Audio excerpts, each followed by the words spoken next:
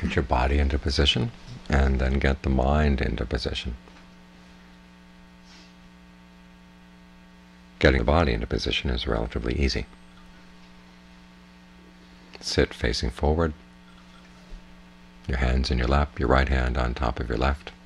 Close your eyes. And there you are. Getting the mind into position is easy as well. Just focus on your breath. Nothing elaborate, nothing abstract. Just the sensation of breathing in the present moment. You can focus at any spot in the body where there's a sensation that lets you know now the breath is coming in, now the breath is going out. Maybe the, it may be the movement of the air in the nose, the rising and falling of the chest, the rising and falling of the abdomen. You can focus anywhere that seems comfortable, and it's clear to see now the breath is coming in, now the breath is going out. That's getting the mind into position. That part is easy. The hard part is getting it to stay. Because it's used to checking in and then checking out very quickly to go someplace else. And you find as you meditate that the mind is like a committee. There are many different ideas in floating around your mind of what you should be doing, and many different ways of making the decision of where you're going to focus. Sometimes it seems like part of your mind is with the breath and part of your mind is looking for something else to do. So you have to watch out for that. Realize you've got the very great likelihood that you're going to wander off, forget the breath, and go someplace else. So if you catch yourself doing that, just come back to the breath.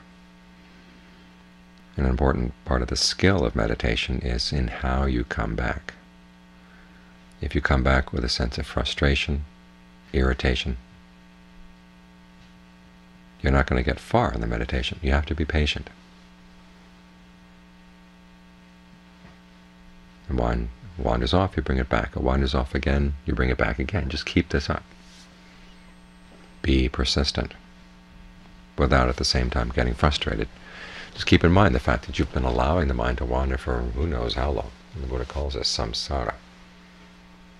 And samsara takes place on two levels. There's the samsara of going from one lifetime to the next, but also just the samsara of the mind wandering around, checking this out, checking that out, thinking about this, thinking about that, going off in all kinds of thought worlds, like little bubbles that float away and then pop, and then you have to come back. So you've been doing this for a long time. It's going to take a while to change your habits. But there are ways to induce the mind to want to stay. One is to keep the breath as comfortable as possible. Experiment with your breathing right now to see what rhythm of breathing feels best. Could be in long and out long, in short, out short. It's always good to start out with some good long breaths to kind of ventilate the body. But then if breath, if long breathing doesn't feel good, you can change. In short, out short, in short, out long, in long, out short. Deep or shallow, heavy, light, fast, slow, broad or narrow. There are lots of different ways of breathing. There's diaphragm breathing, there's shoulder breathing. Different parts of the body can get into the act. So you might experiment with that to see what works best. And as you can create a sense of comfort in the present moment, the mind will be more likely dho stay, because after all, we all like comfort. Everything we do is for the sake of happiness and ease. And so here's one way of creating a sense of happiness and ease in the present moment.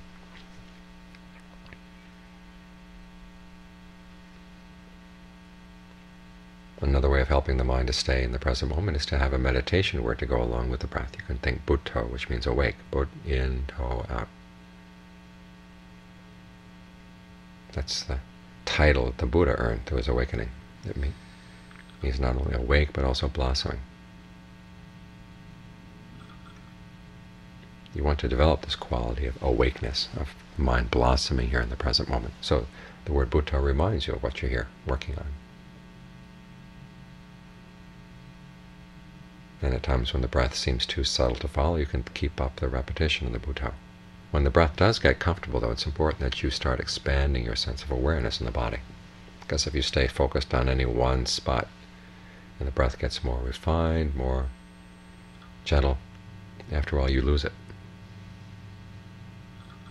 And mind can fall into it's kind of like an air pocket. Woo for a second, and then you come out. So as the breath gets comfortable, think of that sense of comfort spreading through the body, down through the nerves, down through the blood vessels. So larger and larger parts of the body feel good as you breathe in.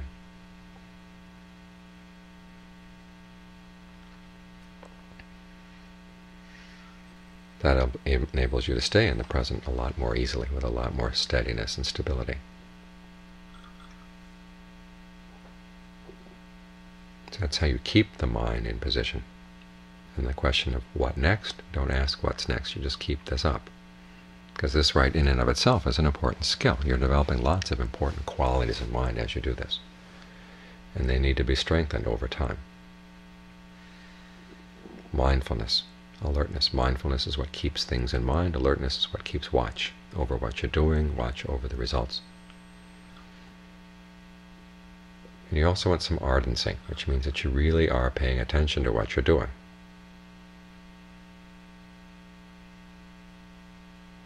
When you're with the breath, you try to be as sensitive as possible to how the breathing feels. When you find the mind wandering off, that sense of ardency means you want to bring the mind back to the breath as quickly as possible.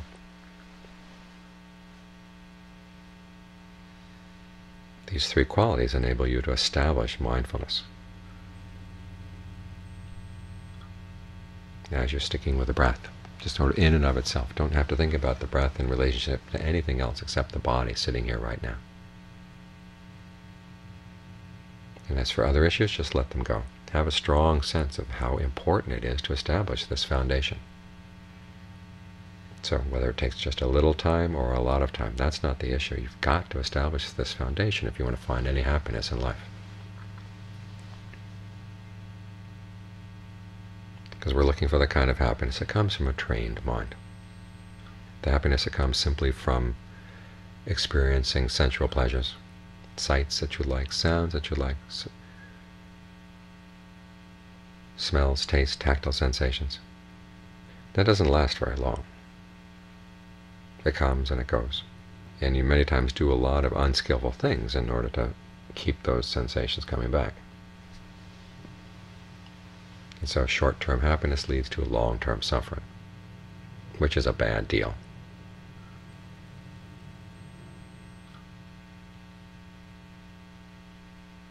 What you're looking for is something that leads to long-term happiness. And you do that by developing good qualities in mind. Otherwise, you realize that the, what's not important is so much of what's coming in through the senses is how the mind processes it. Because that's your primary experience of the world, not the things coming in, but how you process things. How much mindfulness do you bring to it? How much alertness? How much ardency? How much concentration? How much discernment? You want to develop these qualities because then they can, it's like being a good cook. Mediocre cooks need to have really good ingredients in order to come out with good food. Great cooks can take almost anything and turn it into good food because they have a lot of skills. There was once a Vietnamese chef who said, give me a good bottle of fish sauce and I'll make good food out of anything else you can give me. I have a friend who was once a cook and told how he made a, an excellent cream of asparagus soup out of garbage scraps.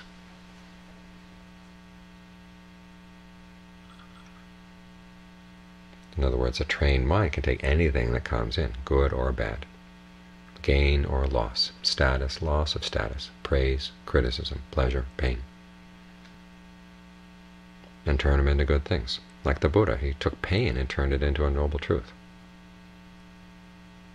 Instead of trying to run away from pain, he said you can, once the mind is well trained, you can face pain square on. And realize that the best way to deal with it is not to push it away or try to run away from it, but to try to comprehend it.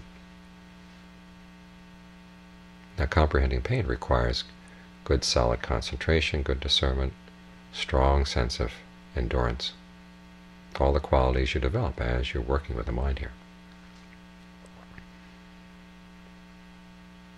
And that way, having a trained mind turns pain from something to be avoided or something to be feared into something to study, something to explore. And through exploring it, it leads you to awakening. That's the good cook. Take even the worst things in life.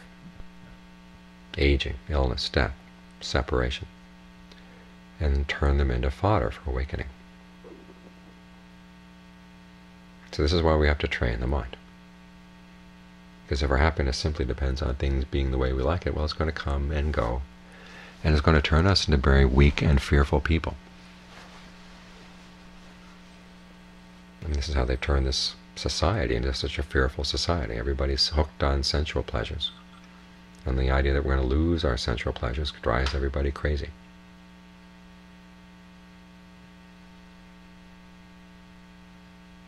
And this way we become manipulated by other people very easily. But if we find that we can deal with anything that gets thrown at us, then what is there to fear? When there's nothing to fear, how can we be controlled? We're free.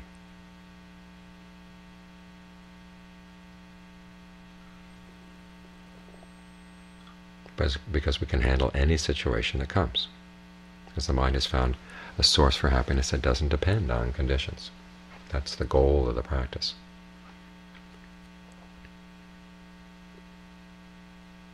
So it's in this way that our happiness becomes secure.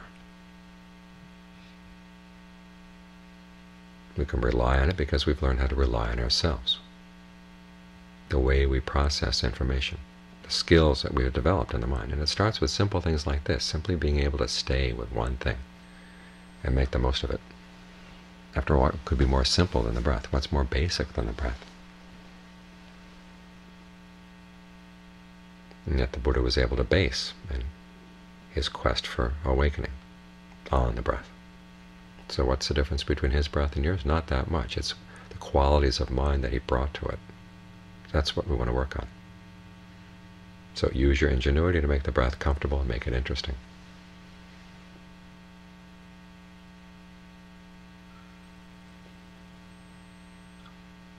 So you're not going to be staying with this simply out of brute force or brute willpower, but you learn some ingenuity in learning how to keep the mind right here, right now. This way you develop all kinds of good qualities of mind. Then when you turn these good qualities to other aspects in life, you'll find that you're in a much better position. You're coming from a position of strength, a position of skill. You find you can depend on yourself more and more. This is why, as the Buddha said, it's the trained mind that leads to happiness. And he also said this is the difference between a wise person and a fool. The wise person sees that the, for true happiness you need to train the mind. The fool doesn't see that. The fool just wants things to be this way, sights to be that way, sounds, wants people to be this, that way. And then goes messing around with the world trying to arrange it to suit his pleasure, or her pleasure. And it doesn't work. And the fool continues to blame the world. The wise person realizes, oh, the problem is in how you train the mind. So try to spend the rest of the hour being wise.